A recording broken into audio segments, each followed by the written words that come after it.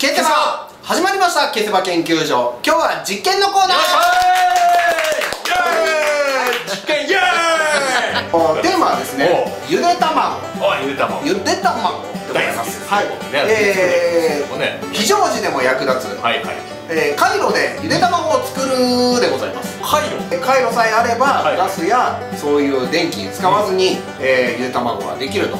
これあれだね地震とかで避難した時にいいよね。そうなんです、ん。なので暖を取りたいんですけど、はい それをねやめて。い いやいやいやいやそれ。温かいゆで卵を食べる、やっぱね食はパワーですから。はい。まあこういう知識も持っておくと何かに役立つかもしれないということで、はいはい。でそれ自体が本当なのかということをね、あの実際に我々が今から試してみたいと思います。試してみたい。なるほど。はい。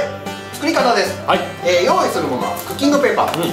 えーボール。ざる、えーに10個。お。とあと生卵。生卵。生卵。ですけどはいはいあの今回3つぐらいかなって思ってはい3つで試したいと思いますよはい、やり方なんですけど、じゃあここにはいクッキングシートをねあの敷いていきましょうあこれでいいでしょあこれでいいでしょこれでこんな感じででざるが何であるかというと多分熱かな熱をねあれするため。あれ。あれするため。はいここに。ところはい。回路、まず回路を半分だけ敷きましょうか、下に。なんでこれ。はい。分業しましょう。はい。開けましょう開けましょうもう回路の中身を出します。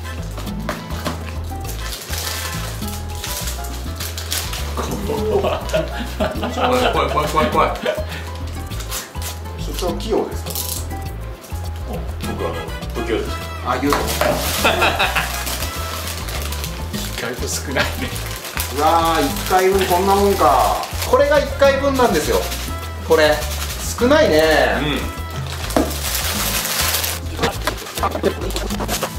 もうあったかくなってたりするの？あああったかいですよ。あったかい。ああそうなんだね。袋ああそうなのその袋から出すともうあったかくなってんだねあでもビニール袋から開けると。もうもう雑だうなわーもったいない粉が。粉が落ちないようにしてくださいね。うわー出たピンクの雑さ。おおまあまあね。今5個の状態。はい5個。じゃあちょっとそれ状態をもう一回。ではここに生卵をね入れていきますよ。3つね。どうかな？どどっちが上？こっち？角？角。角？尖ってる方を上にしましょうか。あああウミガメウミウミガメウミガメあ本当だ。泣きながら。ウミガメや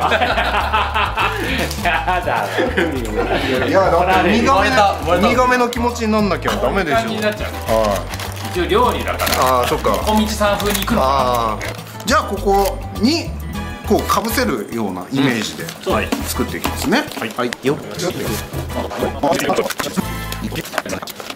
あ埋まるね。よかった。よ埋まる埋まる。いいじゃんいいじゃ